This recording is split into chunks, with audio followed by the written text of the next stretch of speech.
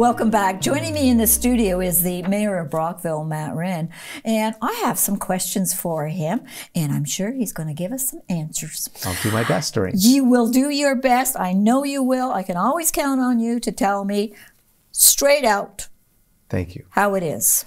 Okay. a lot of things have been happening over the last few months. I mean, you've had to deal with budget and all sorts of things happening here in Brockville. Let's talk about uh, what there was a little upset with the um, Brockville Operatic Society as well as the Brockville Theatre Guild. Is it because of miscommunication? Well, uh, first of all, we've we've come to a solution on on uh, that issue. It was about the lease of the Musa Center space. It was not about a lot of money. Yeah. about around six thousand dollars. That was uh, the center of uh, of the whole conversation. And uh, I, I guess you know uh, I, I don't want to be critical of anyone, but I wish that the two organizations would have reached out to council back in February when this whole matter of the renewed lease came to council. We didn't hear from anybody, and you know staff information to us was that this lease had been worked out with the two organizations and uh, not hearing that there were any problems, council approved it. We were right in the middle of budget, so Yes. uh, everyone's focus was on that. And it wasn't until June until the two organizations reached out to me and members of council saying they weren't happy with this lease that we knew there was any problem.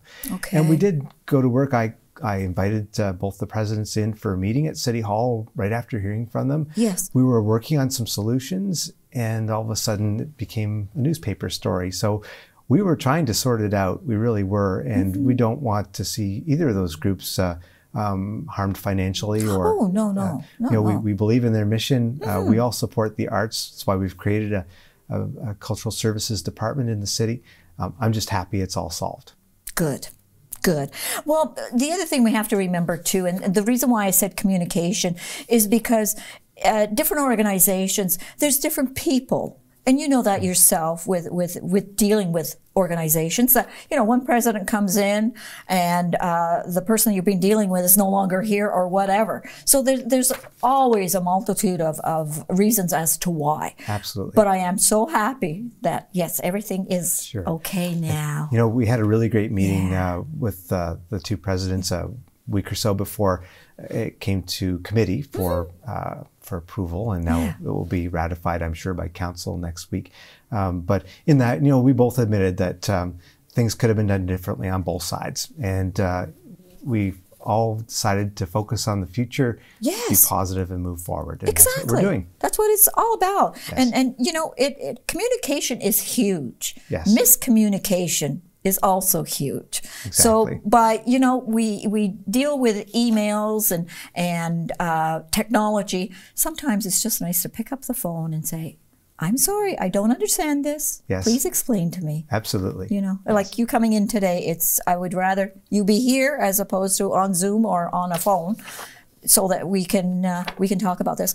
Um, the Brockville Arts Center. Um, what I don't understand what's happening there. Uh, it, it's me. It's it's. I'm sure there's other viewers too. Like I was looking forward to a summer series through the price decks, Right. and it didn't happen. Yeah. Well, to Please start tell with, me, yeah, uh, what's going on with the Brockville Sure, Arts Center? Sure. Uh, well, we've asked the Art Center staff to come to committee uh, in October Okay. uh, to tell us about um, their change in direction and strategy. You know, council approves the budget for the Art Center, um, and uh, that's about the extent of council's involvement in what goes on there. Council. Uh, and this isn't a change under my administration. Yeah. No council has ever been directly involved in what shows are, are taking place. Oh, so no, no, that's no. a staff Yes, decision, yes, a yes. management decision. So it seems that um, the staff uh, decided to take a little bit of a different direction. Okay. It looks like there's less going on at the Art Center because the summer series didn't happen and because films aren't happening right now. And we can talk about that in a second. yes. Um, but when you look at the number of shows that uh, the Art Center will host this year, um, I think I heard that um, you know pre-COVID it was about 45, and this year it's Mm-hmm. going to be about 41.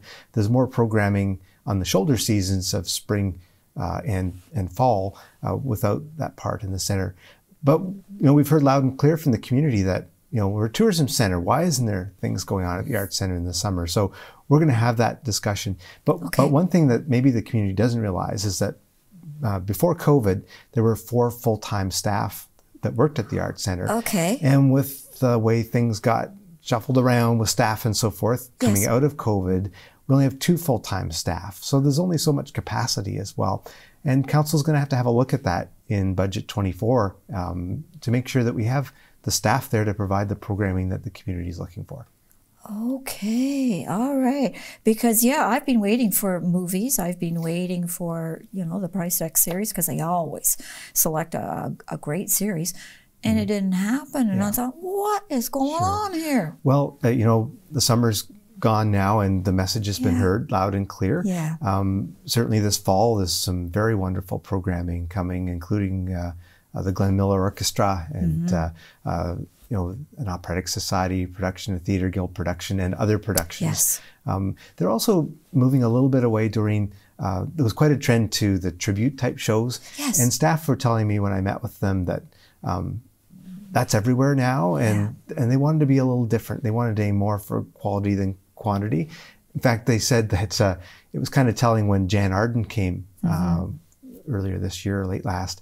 They're actually getting phone calls asking, "Is it the real Jann Arden?" Yeah. Because they become so known for the Ex- tribute yes, shows, right? yes, And yeah. so staff felt, um, and and you know they're the professionals, that it was time to change the direction a little bit. So they're willing to come and chat with uh, with a committee of council. They'll be getting lots of questions, and they'll explain their strategy. Good. And if council feels that their directions maybe, you know, needing to be the wall, recalibrated yeah. a little bit, then we'll be able to have that conversation. Okay. All right. And um, so, yeah, so um, uh, for myself and, and few of our viewers, we like the movies. They were always Yeah. choosing good movies. I'll just touch on that. The, Uh-huh. the projector, um, unfortunately, and, and staff have researched it. Uh, the particular model of a projector was one that the manufacturer ended up discontinuing because Oh, it was a problem, uh, apparently. And so uh, we approved in this year's budget the replacement of that projector. Um, there's been a little bit of delay in the procurement process happening, but that's underway now, and hopefully the new unit will be in place very soon. yes. Yes. See, there's always an answer. We just have to ask. Absolutely, happy got to it. happy to give the answers when I have them. Paratransit. yes. And um, I understand that for the transit system that is in, not para, but for the transit system that's in place right now, Mm-hmm. that's going in house. Well, the existing transit system is in-house. We, the city of Brockville, But- has operated, but paratransit operated separately. Oh, that's, yes, okay. right? I'm sorry. I was And, uh, confused. that's Thank okay. Uh, in the last number of years, uh, that's been a contracted out service. Yes. So um, there are rules about uh, when you're spending public money uh, that you can't just forever have a contract with uh, with a contractor. Every so often, you've got to go back to the market. Right. So the contract with the existing provider is is uh, is concluding at the end of this year. There's no way to just extend it anymore. Any extensions have been used up. Okay. So we'd be required to go back out to tender. Um, but before staff did that, they came to council and said, Would you like us to show you what it would look like for the Brockville Transit System to operate paratransit under one roof? Yes. And council unanimously said, Yes, we'd like to see that. Of course. Nobody two or three months ago said, No, I really want to do the RFP. We all wanted to see what we could do. Uh, because Brockville Transit is, you know, well used Mm-hmm. and uh, and people are very happy with the service they receive by and large. Um, and we felt if we can operate one type of buses, we can operate The another likely. Okay. So now staff have come back, and it is realistic for uh, Brockville Transit to operate it. It's a cost savings. Yes. Um, one of the things that's been missing is that the dispatcher position was eliminated by the current contractor. We're going to put that back so that when you call to book your ride, Right. um, you'll be talking to someone whose job it is to book your ride. A right- real person. well, you get a real person now, but you're getting one of the drivers who's trying to drive somebody and take your reservation at the same time, which Right. is a little much to expect of, of those folks. It's not safe. Yeah. Um, so uh, we've we've we're ready to to bring it uh, to be an in-house service in January. We are very committed to keep this service, uh, to enhance this service if Okay. Uh-huh. we can, and we're very committed to make sure that it's a seamless transition for the people who use the service. We talked about some different vehicles. So right now it's a, a great big bus, the same as our city buses. All right. And stats show that there's generally only a couple people per ride. So you question, why do you need this great big gas guzzling bus? For one or two people. And we're looking at going to um, a converted uh, minivan built especially for this purpose, lower floor. Oh, that, that the, would make more sense. There's yeah. a little bit of a, of a ramp, but it's almost yeah. on the level uh, yes. uh, because of the lowered uh, floor. Yes. Um, and it'll be more comfortable uh, than a big noisy bus. It'll be much more fuel efficient. We're going to go to hybrid buses, mm-hmm. so we'll do our part to help the environment. Right. But the, the the the little benefit here, because we operate a transit system, we're about to get two new buses for Brockville Transit. Mm-hmm. We keep the existing buses for backup. They're the same vehicle as paratransit uses. So for the person or the situation where we need a bus version of paratransit, we've got one. And so the bus Good. with the lift yes. that will hold more people will still be available when it's needed. So there it's, we are. Yeah, perfect. I love the explanation. Love it. Um, Blue Box transition period, that is happening in a couple of years, is it not? Yeah, so this is a provincial uh, direction, not something the city of Brockville has decided, yeah. nor do we have any control over it. No. But basically, what's happening is right now, you and I, the taxpayer, mm-hmm. pay about a million dollars a year to pick up the recycling just the recycling. We yes. pay more than that to pick up the garbage, garbage. too. Mm-hmm. So um, the province decided a few years ago that that shouldn't be the municipal taxpayers' responsibility to get rid of all this recycling. It should be the producers of that material's responsibility to get rid of the recycling. So across Ontario, over a several year period, they're transitioning municipality by municipality to a producer uh, operated system of managing our recycling. So um, January 2026 is when Brockville moves to that uh, direction.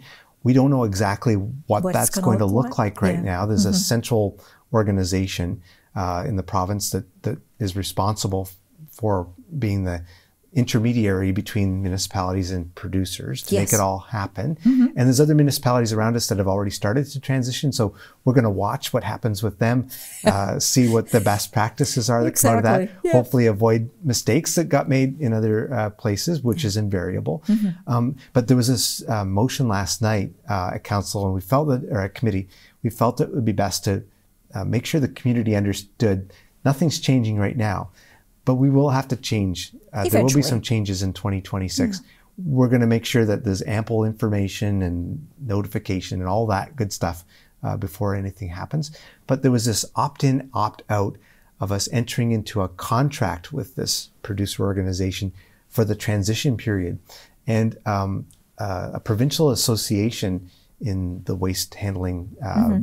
Uh, business had a legal analysis of this contract done and their recommendation was this wasn't good for municipalities. It was going to increase costs during this transition period, yes. put costs back on municipalities that the producers are supposed to be paying. Right. And it was recommended that we opt, opt out. out. Now that doesn't mean your recycling is not going to get picked up no, between now and then. Be. Yeah. Status quo. Mm-hmm. But we got to start looking at some other things too. And the other uh, topic last night was a presentation by a company that makes a little countertop um, unit that turns your food waste into compost. Yes. Into soil you can plant your flowers yes. in. Um, it's a really interesting uh, little process. They told us that the average household produces 600 pounds of food waste per year, if you can imagine that.